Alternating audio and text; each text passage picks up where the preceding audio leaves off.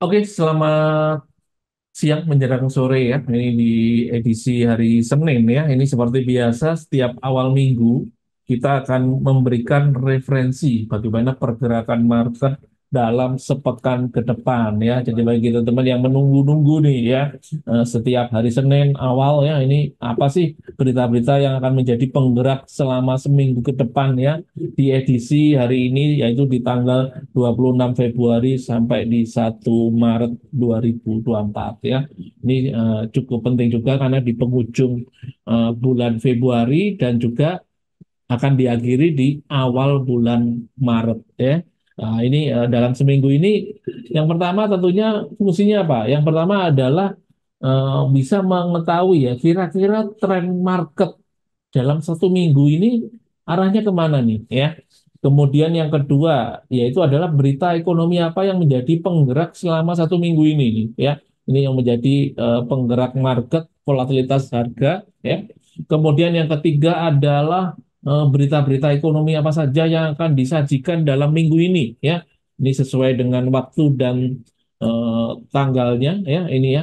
Nah, ini uh, juga menentukan kira-kira perlu dicatat nih ya teman-teman semua jadwal-jadwalnya selama satu minggu ya. Jadi kalau kita udah tahu kira-kira gambaran satu minggu ini beritanya apa saja, jadi kita bisa tahu nih sehingga bisa menyiapkan diri kita ya.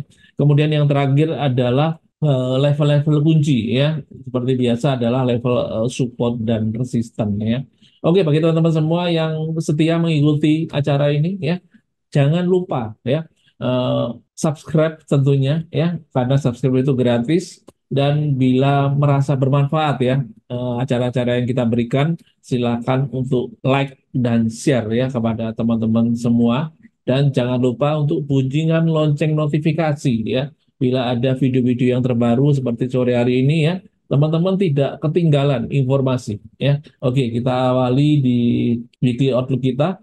Kita awali di pergerakan yang cukup favorit ya. Ini di commodity gold ya.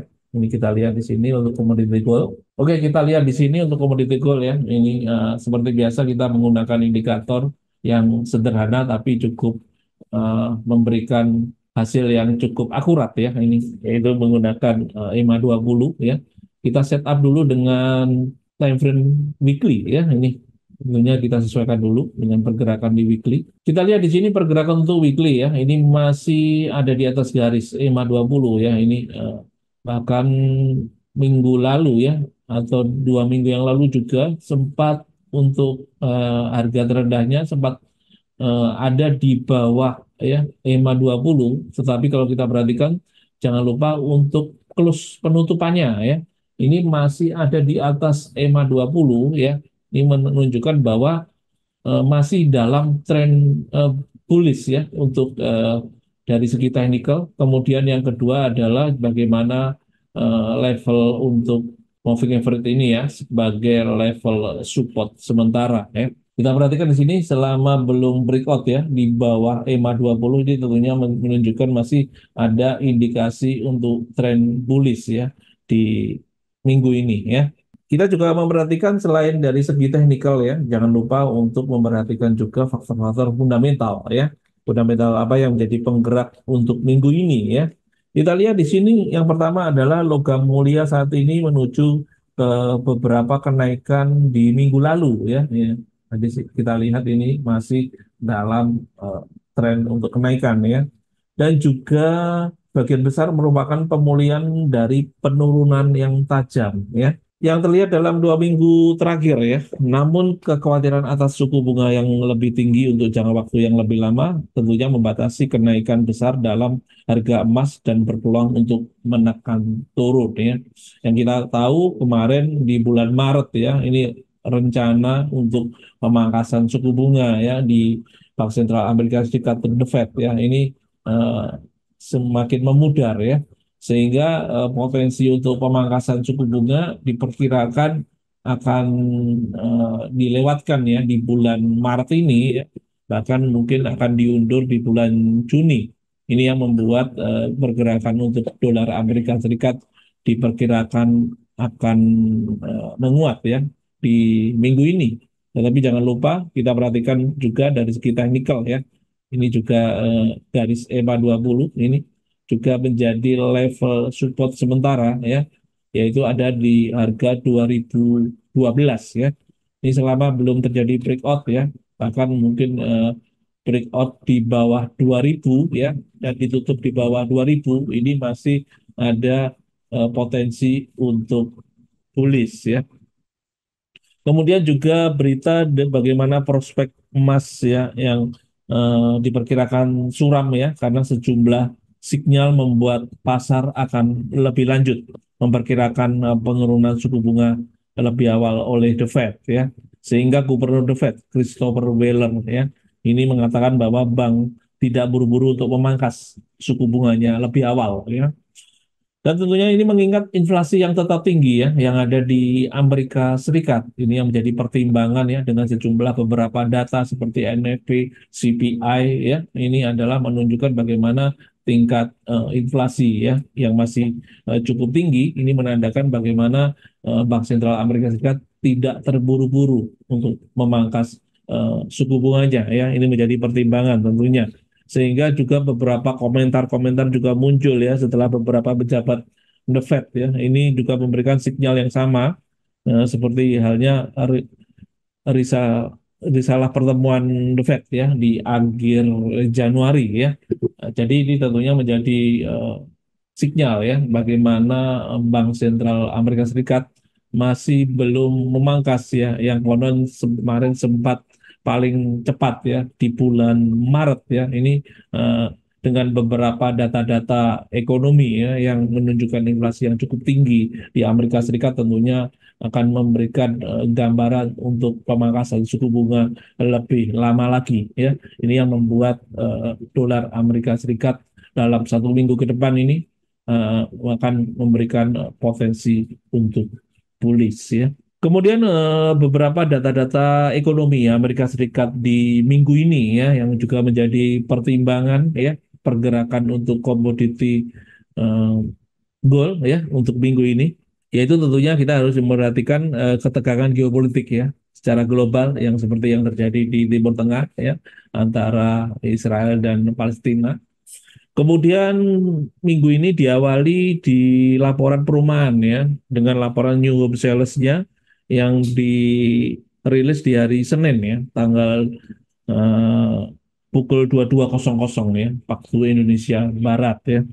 Kemudian dilanjutkan di hari Selasa ya dengan waktu yang sama pukul 22.00 waktu Indonesia Barat ya. Ini akan melaporkan laporan untuk CB Customer Confident ya. Ini uh, berita dari Amerika Serikat Kemudian bersamaan dengan laporan untuk Resmond Manufacture Index ya.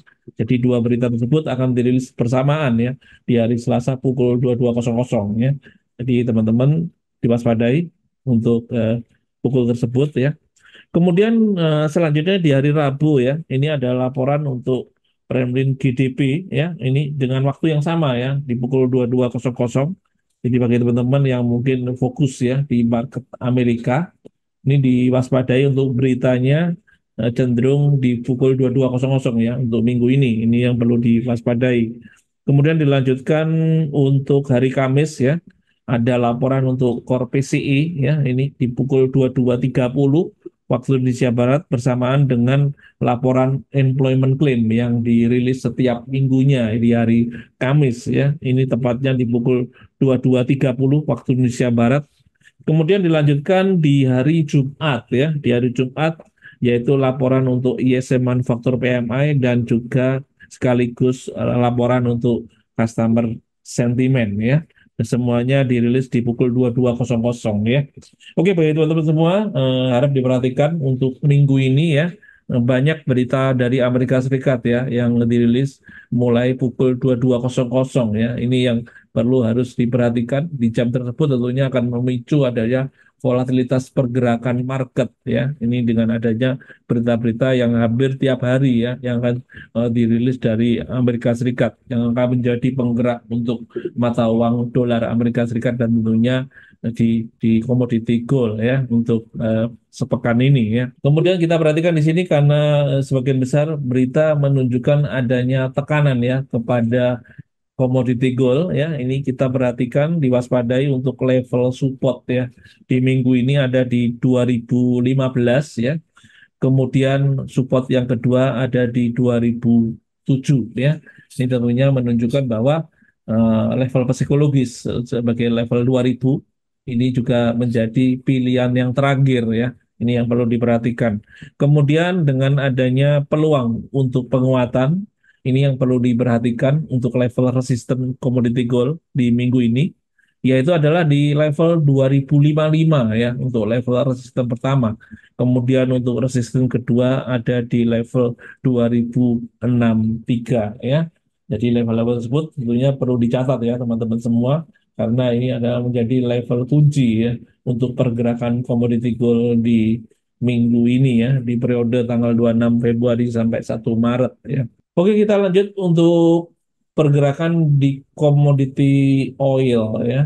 Oke, komoditi oil eh, kita lihat kemarin sempat terjadi penurunan ya ini. Kita setup dulu untuk weekly ya. Dan kita perhatikan di sini ya sempat uh, terjadi breakout untuk uh, garis indikator kita EMA 20 ya. Ini juga menunjukkan adanya konfirmasi ada tren bearish ya untuk minggu ini ya dari segi teknikal karena sudah ada di bawah EMA 20 ya yang menunjukkan adanya pergerakan untuk tren bearish ya dari segi teknikal. Kemudian kita perhatikan di sini juga berita-berita yang menjadi penggerak untuk minggu ini untuk harga oil ya. Diperkirakan untuk harga oil trennya ada di jalur penurunan ya untuk minggu ini ya. Setelah Bank Sentral Amerika Serikat mengindikasikan bahwa penurunan suku bunga dapat ditunda setidaknya dua bulan lagi ya. Ini tentunya uh, akan berpengaruh kepada komoditi oil ya. Ini kita tahu pada saat uh, penundaan untuk suku bunga ya, ini akan memberikan penguatan ya terhadap dolar Amerika Serikat dan uh, akhirnya harga untuk oil ini akan menjadi cenderung lebih mahal ya sehingga menekan akan permintaan ya akan oil ya untuk pergerakan di minggu ini dan juga para pembuat kebijakan The Fed ya. Ini juga menunda penurunan suku bunga setidaknya dalam beberapa bulan ke depan ya.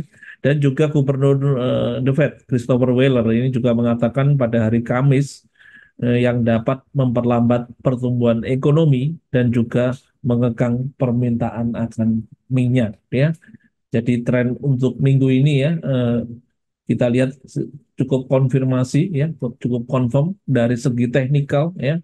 Ini kita lihat di time frame weekly uh, ada uh, tren untuk bearish ya. Kemudian ditunjang dengan uh, berita ekonomi ya yang menjadi penggerak untuk oil dalam tekanan penurunan ya. Dan juga ada beberapa analis ya mengatakan bahwa permintaan sebagian besar tetap sehat ya meskipun ada dampak dari suku bunga yang tinggi, termasuk ada di Amerika Serikat. Ya.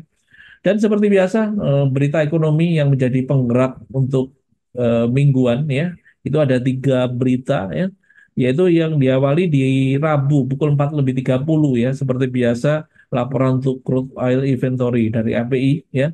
Kemudian malam hari dilanjutkan untuk laporan untuk crude oil inventory dari EIA, ya, yang tepatnya di pukul 22 lebih 30 waktu Indonesia Barat. Dan seperti biasa di akhir pekan ya, kita juga akan menjadi penggerak juga untuk pergerakan komoditi oil ya.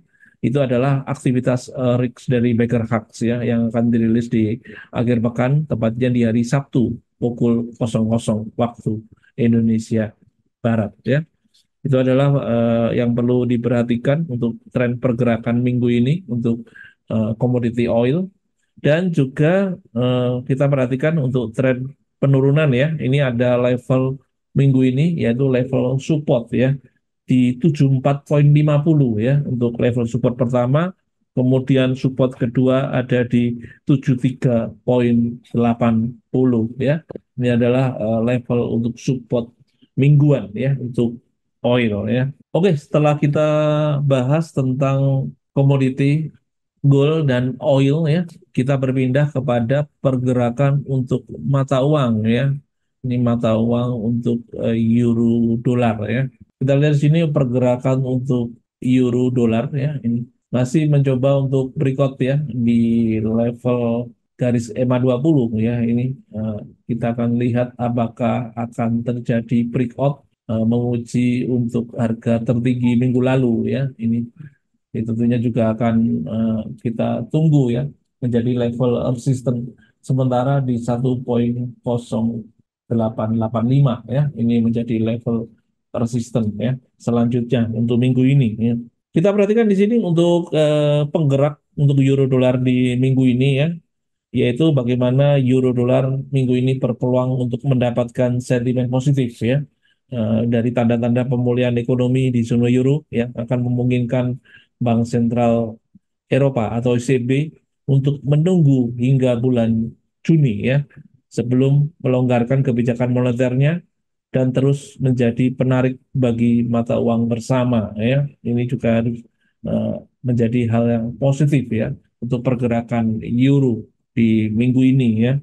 Dan juga bagaimana pandangan hawkish ya eh, Bank Sentral Amerika Serikat The Fed ya terhadap suku bunga yang memberikan dukungan pada dolar Amerika Serikat dan membatasi kenaikan untuk pasangan mata uang ini. Ini juga menjadi perhatian ya, walaupun di pasangan mata uang euro ini oleh bank sentralnya ECB ini eh, akan menunda ya pemangkasannya dalam jangka panjang, tetapi juga The Fed juga eh, akan menunda juga ya kebijakan untuk eh, pemangkasan suku bunganya ya. Ini sekarang tinggal melihat bagaimana berita-berita ekonomi di pekan ini ya yang menjadi penggerak untuk mata uang euro ya. Diawali di hari Kamis ya. Di hari Kamis ini akan melaporkan laporan untuk brand CPI ya dengan waktu yang all day ya. Kemudian eh, dari Spanyol ya, ini akan juga melaporkan laporan untuk eh, CPI ya di pukul 15.00 waktu Indonesia Barat dan selanjutnya di hari Jumat ya pukul 17.00 ada dua berita yang akan dirilis secara bersamaan yaitu adalah laporan untuk core CPI dan juga eh, CPI yang akan dirilis bersamaan ya di pukul 17.00 ya. Empat berita tersebut tentunya akan menjadi penggerak untuk minggu ini ya di pergerakan di mata uang uh, euro dolar ya. Kemudian uh, kita perhatikan untuk tren di minggu ini ya diperkirakan dalam tren bullish ya ini ada level-level kunci untuk minggu ini ya yaitu adalah di level resisten ya di level resisten yang pertama di 1.8 1.0869 ya. Kemudian yang kedua di 1.0893 ya. Ini adalah level kunci untuk level resisten di pasangan mata uang euro dolar di minggu ini ya. Kemudian kita lanjut untuk pergerakan di mata uang Inggris ya, yaitu adalah pound sterling. Pound sterling kita perhatikan di sini di time frame weekly ya, ini juga sempat uh, menunjukkan konfirmasi ya adanya penutupan ya di atas garis EMA 20 ya. Ini menunjukkan adanya tren untuk bullish ya di minggu ini dari segi teknikal ya. Kemudian uh, dari segi fundamental ya, ini kita lihat bagaimana pound sterling juga berpeluang melonjak ya pekan ini ya.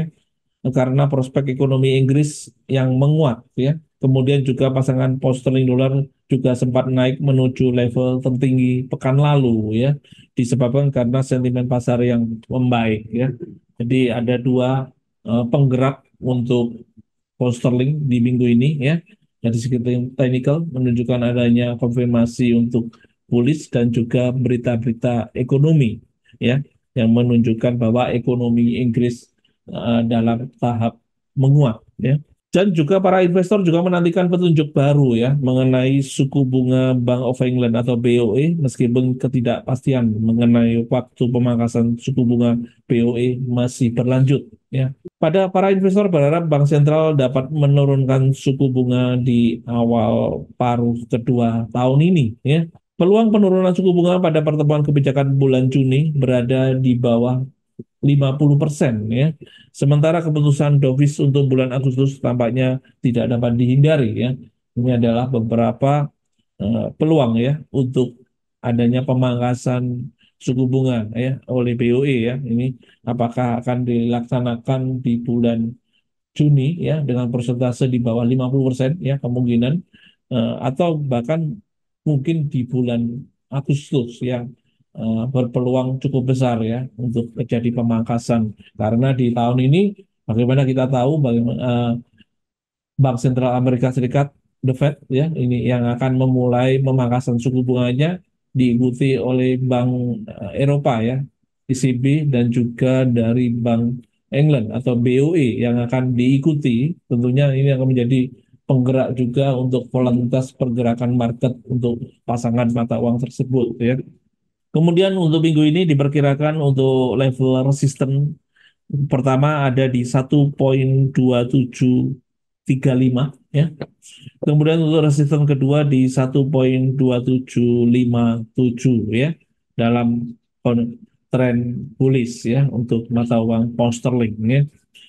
Oke, kita lanjut untuk pergerakan di mata uang Asia ya, yaitu adalah di pasangan mata uang dolar yen ya. Ini bagi teman-teman yang juga uh, trading ya, yang suka menyukai uh, pergerakan di mata uang dolar yen ya. Kita lihat dolar yen uh, cukup stabil ya di minggu lalu ya, walaupun kita perhatikan empat minggu terakhir ya, ini dalam kondisi tren kenaikan ya kita lihat di sini harga tertinggi yang pernah dicapai ada di 150.80 ya. Ini menjadi level resisten sementara ya ini uh, tidak terjadi uh, breakout ya minggu ini tentunya. Di sini kita perhatikan ada peluang kemungkinan untuk terkoreksi turun ya dengan menargetkan level support di level 147.35 ya ini di garis EMA 20 ya kita lihat di minggu ini ya bagaimana arah pergerakan di pasangan mata uang dolar yen ini ya.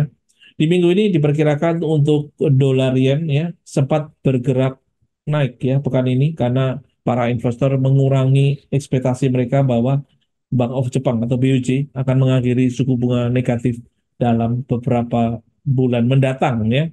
Setelah data yang dirilis minggu lalu menunjukkan bahwa ekonomi Jepang secara tidak terduga jatuh ke dalam resesi ya yang kita tahu kemarin ada beberapa informasi ya yang uh, mengkonfirmasi adalah negara-negara yang lagi mengalami resesi. Misalnya dari negara Inggris ya kemudian diikuti dari negara Jepang ini juga uh, masuk dalam masa resesi ya.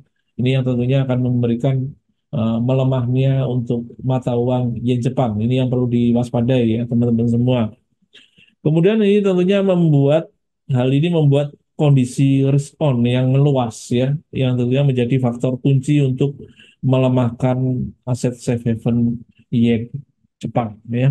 Selain itu juga Gubernur The Fed ya, Christopher Waller ya, mengatakan bahwa pada hari Kamis malam ia membutuhkan lebih banyak bukti bahwa inflasi mengalami penurunan ya. Yang artinya apa? Artinya adalah uh, pemangkasan suku bunga ini akan cenderung akan ditunda ya atau bahkan uh, dalam jangka waktu yang lebih lama sehingga akan memperkuat ya untuk uh, mata uang uh, dolar Amerika Serikat. Sehingga sebelumnya Bank Sentral juga akan mempertimbangkan ya penurunan suku bunga itu semakin mendukung untuk dolar yen tetap pulih ya. Bagaimana jarak uh, suku bunga antara dolar Amerika terhadap mata uang yen Jepang yang masih uh, cukup jauh ya. Ini bagaimana uh, BOJ yang akan uh, mengakhiri uh, era suku bunga negatif. Ini belum melaksanakan juga ya atau merubah uh, suku bunganya menjadi positif yang sebelumnya negatif. Dan juga uh, dolar Amerika Serikat ya yang cenderung akan dipangkas tapi akan ditunda ya. Uh, bahkan bulan Maret ini ada kemungkinan kecil akan memangkas sesuai dengan rencana The Fed ini yang membuat uh, dolar yen diperkirakan minggu ini dalam kondisi uh, pelemahan ya atau tren naik ya. Kemudian uh, juga beberapa rilis data Jepang ya pekan ini yang perlu diperhatikan diawali di hari Kamis ya. Pukul 6.50 waktu Indonesia Barat adalah laporan untuk prelim industrial production ya ini. Kemudian dilanjutkan uh, laporan untuk retail sales ya. Kemudian pukul 12.00 di hari yang sama akan melaporkan laporan untuk BOJ Core CPI ya. Dan di hari Jumat pukul 6.30 ada laporan untuk employment rate ya Satu jam kemudian ya 7.30 ada laporan final manufacturer PMI. Kemudian diakhiri di hari Jumat pukul 12.00 yaitu laporan untuk customer confidence ya. Sekian untuk berita-berita ekonomi di negara Jepang ya untuk uh, perlu dijadikan perhatian ya bagi teman-teman semua. Kemudian untuk level resisten ya, ini karena trennya uh, melemah ya atau naik ya. Ini yang perlu diwaspadai ada di 151.63 ya. Kemudian yang kedua ada di 152.15 ya. Ini juga diwaspadai uh, harga tertinggi sepanjang masa kemarin ya. Ini uh, sempat tertahan di 152 ya. Ini bila terjadi breakout tentunya akan memicu untuk resisten yang kedua di 152.15. Ini artinya terjadi uh, breakout ya untuk harga tertinggi sepanjang masa untuk dolar yen. Ini yang perlu diwaspadai ya, beserta dengan berita-berita ekonominya. Oke, kita lanjut untuk pergerakan di indeks saham ya. Ini bagi teman-teman yang juga trading di indeks saham, kita juga memiliki informasi ya bagaimana tren market untuk indeks saham terutama indeks saham Asia ya, yaitu di indeks Nikkei dan Hang Seng ini bergerak dalam sepekan ke depan ya. Kita lihat di sini pergerakan untuk indeks uh, Nikkei ya. Kita awali di indeks Nikkei ya. Oke, bagaimana pergerakan indeks Nikkei ini ada pagi ini sempat terjadi koreksi turun ya setelah empat minggu beruntun ya ini mencapai harga tertingginya ya dalam tren bullish ya bahkan sempat mencapai harga tertinggi di indeks saham Nikkei ya dalam 34 tahun terakhir ya. Kita lihat sini apa yang menjadi penggerak untuk indeks Nikkei mengalami kenaikan ya minggu ini diperkirakan untuk indeks Nikkei berpeluang untuk menguat kembali ya untuk pekan ini. Ini karena tertopang oleh rally positif pasar saham di Amerika Serikat seperti FD ya yang melaporkan hasil pendapatan yang lebih baik dari yang diharapkan dalam kuartal keempatnya ya. Dan tentunya pendapatan perusahaan tersebut memberikan efek riak di pasar ekuitas Amerika Serikat ya dan tentunya uh, juga global karena banyak orang di Wall Street yang terus membeli ya. Yang kita tahu kalau pergerakan di saham-saham di Amerika Serikat ini cenderung mengalami kenaikan ya. Ini tentunya ini sebagai kiblat untuk eh, saham-saham terutama di saham Asia ya. Ini akan mengikuti trennya ya. Yang kita lihat tadi ada beberapa saham yang membuat uh, cukup bagus ya laporan di kuartal yang keempatnya. Ini membuat pergerakan untuk indeks uh, Nasdaq ya ini uh, mengalami uh, penguatan ya ini tentunya akan memberikan juga hal yang positif ya kepada indeks saham Nikkei ya yang walaupun sudah mencapai di harga tertingginya ini ada peluang untuk minggu ini akan kembali uh, memecahkan rekor ya dengan adanya berita imbas dari pasar saham di Amerika Serikat tersebut ya.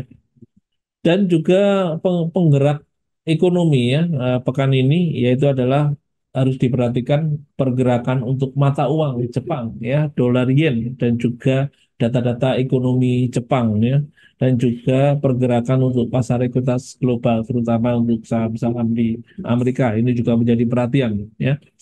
Dan untuk level kunci di minggu ini ya karena dalam kondisi tren naik ya ini ada level resisten minggu ini adalah di 40.290 kemudian resisten yang kedua ada di 40.950 ya. Demikian untuk tren pergerakan minggu ini di indeks saham Nikkei. Kita lanjut untuk pergerakan di indeks saham Hong Kong yaitu Hang Seng ya. Hang Seng juga sempat mengalami kenaikan dalam tiga minggu terakhir ya. Kalau kita perhatikan walaupun masih belum bisa kita lihat uh, breakout untuk EMA 20-nya ya. Ini masih tertahan di level tersebut ya, terutama di 16.745 ya, tepatnya sebagai level resisten ya. Kita lihat minggu ini ya, diperkirakan untuk indeks Hang Seng uh, berpeluang untuk memperpanjang rally ya, kenaikan pekan ini karena pendapatan pasca COVID di operator platform ya, perjalanan trip.com ya Group mendorong sahamnya ya ke level tertinggi sepanjang masa ya. Saham-saham teknologi itu menguat didukung oleh perkiraan pendapatan Nvidia yang naik ya, yang uh, kita tahu saham-saham Amerika juga memberikan uh, dukungan ya untuk pergerakan saham-saham Hang Seng ya di minggu ini ya. Ini apakah akan terjadi breakout ya? Ini tentunya dengan adanya breakout untuk level yang saya sebutkan tadi, ini akan menunjukkan adanya level lebih tinggi lagi ya untuk indeks Hanseng di minggu ini ya. Bagaimana data-data untuk indeks Hanseng sempat melonjak sebesar 1,5 persen menjadi 16.742 ya. Kemudian di hari Kamis ke level yang belum terlihat sejak 2 Januari, sementara indeks teknologi sempat melonjak 1,8 persen ya. Indeks komposit Shanghai ya naik sebesar 1,3 persen dan juga CSI 300 naik untuk hari ke-8 berturut-turut ya untuk mengakhiri ke kenaikan terpanjang sejak bulan Juli 2020 ya. Dengan adanya data-data yang kita perhatikan di sini uh, ada peluang untuk minggu ini ya uh, tren untuk indeks Hanseng akan berlanjut bullish ya dan berita-berita ekonomi yang menjadi penggerak untuk minggu ini di indeks Hanseng yaitu yang tentunya perkembangan ekonomi di China ya, juga pergerakan pasar ekuitas global dan juga berita minggu ini ya, yaitu adalah China Manufacture PMI yang akan dirilis di pukul Jumat 8.30 bersamaan dengan laporan China Non Manufacture PMI ya. Kemudian 15 menit kemudian akan melaporkan laporan untuk China Check Sheet Manufacture PMI ya di hari Jumat ya. Demikian untuk berita-berita tren indeks saham ya. Ini cenderung untuk dalam tren bullish ya baik di indeks Nikkei maupun di indeks Hang Seng ya. Dan untuk resisten minggu ini diperkirakan untuk indeks Hang Seng ada di level 17.090 kemudian resisten kedua di 17.300 ya Oke demikian untuk eh, berita-berita uh, ekonomi yang menjadi penggerak sepanjang pekan ini ya di edisi 26 Februari sampai 1 Maret 2024. Oke sebelum saya akhiri seperti biasa saya akan memberikan summary ya untuk eh, berita-berita uh, yang menjadi penggerak untuk minggu ini. Yang pertama adalah kekhawatiran atas suku bunga yang lebih tinggi untuk jangka waktu yang lebih lama. Ini berpeluang untuk membebani untuk goal di minggu ini ya Kemudian potensi kenaikan suku bunga The Fed dan outlook permintaan yang tetap tinggi berpeluang menjadi penggerak untuk oil di pekan ini ya. Kemudian potensi kenaikan suku bunga The Fed ini juga menjadi katalis penggerak untuk euro dolar di pekan ini. Kemudian outlook hawkish The Fed dan juga potensi bearish BOE ini berpeluang untuk membebani pergerakan pound sterling dolar di minggu ini ya. Kemudian para investor juga mengurangi ekspektasi mereka kepada Bank of Jepang atau BOJ yang akan mengakhiri suku bunga negatif berpotensi untuk menopang dolar yen bergerak lebih tinggi ya. Kemudian juga kita lihat eh, bagaimana ditopang oleh saham-saham teknologi yang menguat ya Eh, dan juga didukung oleh perkiraan pendapatan Nvidia yang naik masih akan menjadi penggerak positif ya untuk pergerakan indeks Nikkei dan Hang Seng di pekan ini ya. Oke demikian untuk informasi pergerakan market di minggu ini ya di edisi 26 Februari sampai 1 Maret 2024. Semoga bisa bermanfaat bagi teman-teman semua untuk bisa membantu analisa lebih baik lagi dan lebih mudah ya saya harapkan semoga informasi ataupun acara yang kita berikan ini bisa bermanfaat dan membantu bagi analisa ataupun hasil investasi trading Bapak Ibu sekalian ya. Oke, semoga sukses bagi trading Anda minggu ini ya. Sampai ketemu kembali untuk berita acara weekly outlook di minggu depan ya. Oke, saya Sony Kelapan mengucapkan terima kasih banyak ya. Saya undur diri dulu. Sampai ketemu kembali di acara selanjutnya. Terima kasih, sukses untuk kita semua di minggu ini.